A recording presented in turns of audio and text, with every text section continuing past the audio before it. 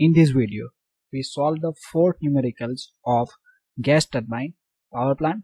Compared to the last three numericals, these numericals are different because last three numericals are based on the ideal cycles. These numericals are based on the actual cycle because in these numericals, compressor efficiency is given, turbine efficiency is given, combustion chamber efficiency is given. Okay, we need to find out some additional data compared to the last three numericals. So first data is mass of air divided by mass of fuels and the SFC means specific fuel consumptions. Okay, so these are the additional data that we find out in this numerical So first we understand the problem statement. A gas turbine unit has pressure ratio of 6 means P2 upon P1 is given. So it is called the pressure ratio is equal to 6 maximum cycle temperature is 900 degrees centigrade. Maximum cycle temperature means maximum temperature in a gas turbine power plant. So it is the T3 is given. So T3 is equal to 900 degrees centigrades the isentropic efficiency of the compressor and turbine are 85 percentage and 90 percentage respectively. Means 85 is the compressor efficiency 90 percentage is the turbine efficiency. Air enters the compressor at 15 degrees centigrade means T1 is given. At the rate of 5 kg per second means this is the mass of air is given okay? So air enters the compressor at 15 degrees centigrade at the rate of 5 kg per second. So this is the mass of air is given that is 5 kg per second calorific value of a fuel use is 43000 kilojoule per kg means CV is given. CV is equal to 43,000 kilojoule per kg. Combustion efficiency is 95 percentage means efficiency of combustion chamber is given. We need to consider few parameters. Cp of air is equal to 1 kilojoule per kg Kelvin. Specific heat for a gas is equal to 1.07 kilojoule per kg Kelvin and gamma is equal to 1.4 for the air and gases. Means this Cp is given for air this Cp is given for the gas. And the gamma is equal to 1.4 air and gas. We need to find out air fuel ratio second power output thermal efficiency and the specific fuel consumption. So here we write down this given data and we need to also draw this TS diagrams okay? So here you see this TS diagram is changed okay? So this 1 to 2 dash is indicate the isentropic process and this 1 to 2 is indicate the actual process okay? So in a different book the different notation is given. In a some book for the isentropic process means for this straight line 1 to 2 is used and for this actual process 1 to 2 dash is used okay? So here I write down this given data. First is the P2 upon P1 is given. This is the 6 this is a T3 is given 900 degrees centigrade so we convert in a Kelvin. So 900 plus 273 the isentropic efficiency of the compressor that is a 0.85 means 80 percentage. Turbine efficiency is the 0.90 this is the T1 is given 15 degrees centigrade plus 273 so we get answer 288 Kelvin. Mass of air that is uh, denoted as the MA is equal to 5 kg per second. CV is equal to 43,000 kilojoule per kg. Combustion chamber efficiency 0.95 and these are the other additional data. Now what to find out? Air fuel ratio means ratio of air and fuel means mass of air divided by mass of fuels. Second we need to find out power output means we need to find out network. Third one we need to find out thermal efficiency. And the last one is the specific fuel consumption. In short it is written as the SFC okay? Now we see what are the equations required to find out this parameter okay? So first parameter we need to find out air fuel ratio. So air fuel ratio is find out by using these equations okay? So air is supplied in a compressor fuel is supplied in a combustion chambers okay? So we need to supply the energy balance in a combustion chamber means heat supply by fluid and the heat taken by the burn gases okay? So heat supply by the fuel is the mf into cv into combustion chamber efficiency heat taken by burn gases okay so it is the ma plus mf into cpg t3 minus ma cpa t2 means this is the output of the combustion chambers okay? So what is the mass output from the combustion chamber? That is the mass of air plus mass of fuels okay? And the cpg because it is a gas is output and the temperature is t3 minus this is the input of the combustion chamber that is the mass of air because in a combustion chamber air is enter that's why here we consider CPA because the specific heat of the air is considered and temperature of the air is T2 okay? So in this equation we put the various value okay? So here you see there is a T3 is there but T3 is not okay T3 is given. T2 is there T2 is not given. So first we need to find out T2 and T4 means any numerical is asked in examination for the gas turbine power plant. First you need to find out T2 and T4s okay next we need to find out power output P. So it is a turbine work minus compressor work. Third we need to find out thermal efficiency. So it is a net work divided by heat supplied and the last one we need to find out specific fuel consumption SFC for the SFC equation is fuel supplied in kilogram per hours divided by power output. So first we find out these T2 dash temperatures and the T2 temperatures means for the isentropic compression process. So isentropic compression process is 1 to 2 dash. Okay. So this is isentropic compression because entropy remains constant. That's why it is called as the isentropic process. Okay. In a some book, here they consider the point number 2 and here they consider the point number 2 dash. So equation is T2 dash divided by T1 is equal to P2 divided by P1 raised to gamma minus 1 upon gamma. Okay. Suppose you consider here this 2 point. Okay. So instance of this T2 dash, you can use the T2. Okay. Now we putting these various values. So here P2 upon P1 is given 6. Value of the gamma is 1.4 and the value of the T1 is 288. Okay. So this equation is written like this way. This T1 is supplied on the right side. So it is a 288 into 6 this simplified then we get the answer 0.2857 so t2 dash is equal to 480.52 kelvins okay? Now next we need to calculate the t2 by using this equation of this compressor efficiency okay? So equation of the compressor efficiency is equal to isentropic heat drop means this isentropic heat drop is the T2 minus T1 divided by actual process. Actual process is T2 minus T1. Okay. So basic thing is that, okay, so efficiency is always less than 100 percentage. Okay. Means in a numerators, it is a small land portion is there. Okay. So here we get the two line. Suppose we take this projection of the T2 dash and the T2 on the y axis. Okay. So here we get this T2 dash point. Here we get this T1. Okay. And here we get this T2 okay? So smaller land is mentioned in a numerators and the larger land is mentioned in a denominators. That's why we get the efficiency less than 100% okay? Because in a turbine there is opposite process are occurs okay? Because these compressor are the work consuming device and this turbine are the work producing device okay? That's why this equation of the efficiency are alternate. Here this is isentropic divided by actual process okay? So we putting this compressor efficiency it is a 0.85 T2 dash 480, T1 is given 280 and we need to calculate this T2. Okay. So we get this answer of the T2 514.49. Okay. So here you see we get this answer of the T2 is higher than the T2 dash. Okay. So here you see this point number point T2 is above the T2 dash. Okay. Suppose you make the alternate equations means you putting this actual upon isentropic then your answer is wrong. Okay. So from this diagram you can see that our T2 is the higher than this T2 dash.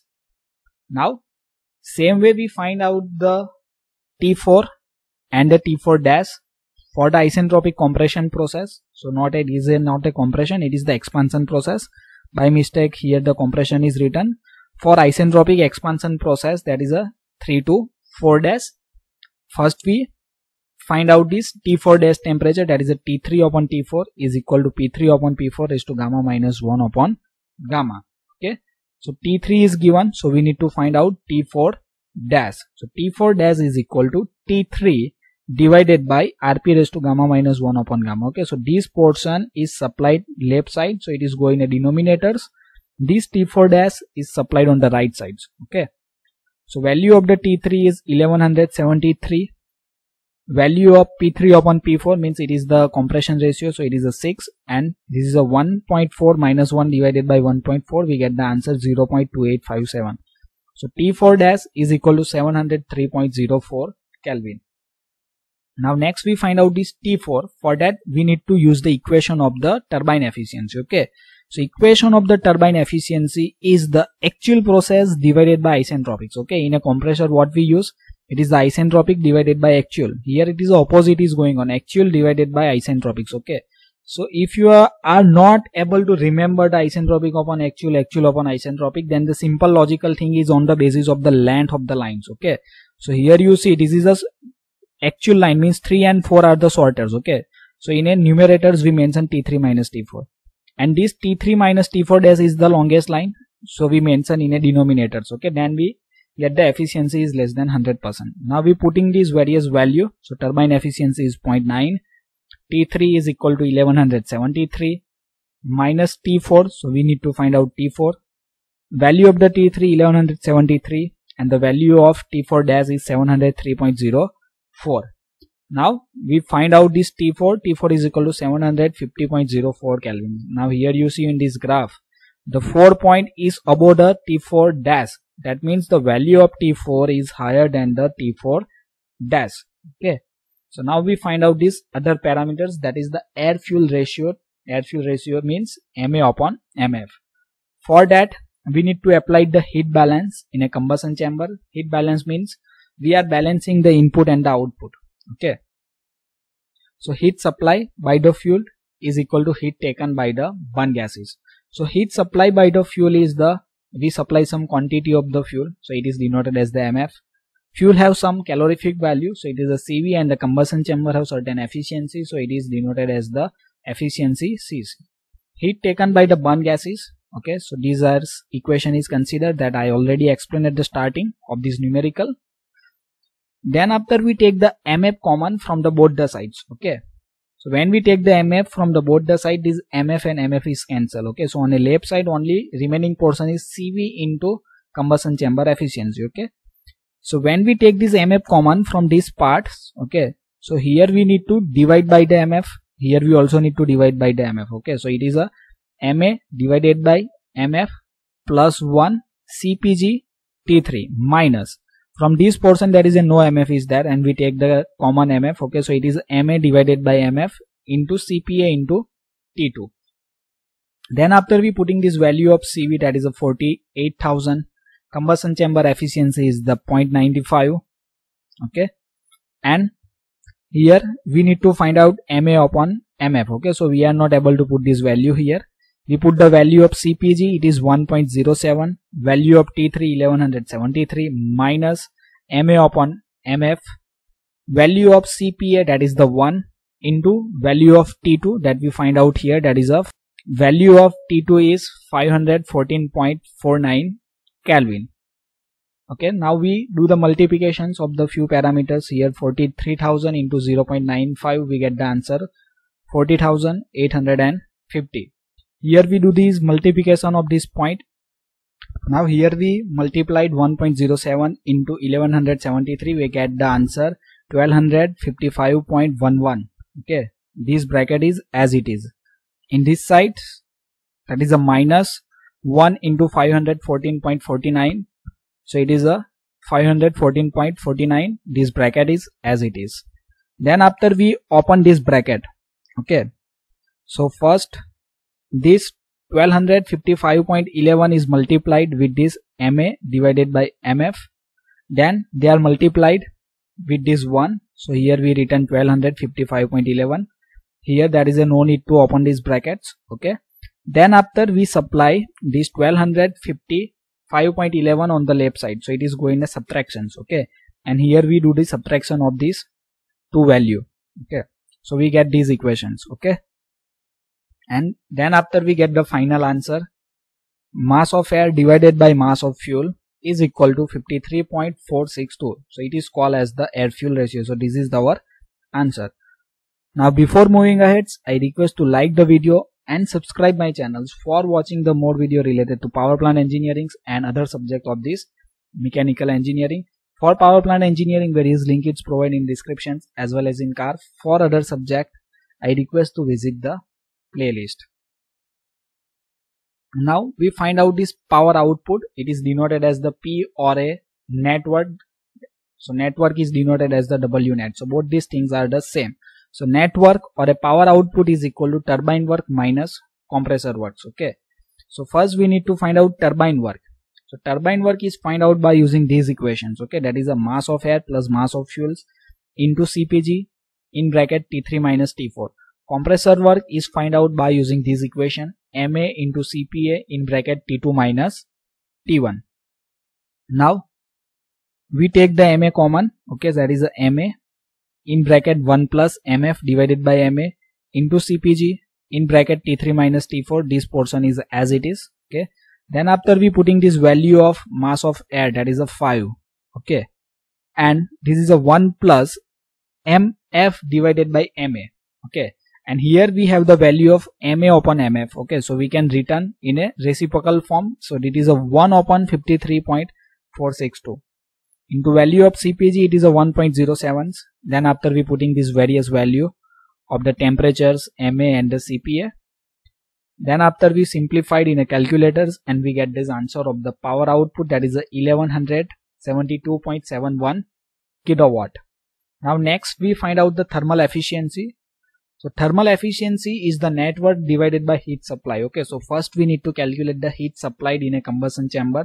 That is a q is equal to mass of fuel into cv so mass of fuel that is mf so mf is not directly given or we are not calculate the mf okay? So what we do we divide and multiply this equation by the ma so it is a ma into mf divided by ma into cv okay? So value of ma is there that is a 5 and the value of mf divided by ma is 1 upon 53.462 because here this is the value of ma upon mf okay so it is the reciprocal of it into value of CV that is a 43,000. Now we calculate in the calculators and we get this answer of the heat supply that is a 4021.55 kilojoule per seconds.